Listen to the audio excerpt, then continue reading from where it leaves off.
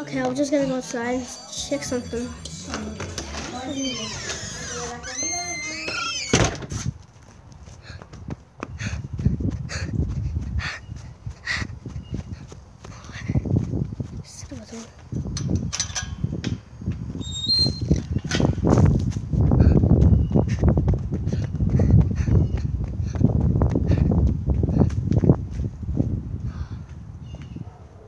Oh my gosh,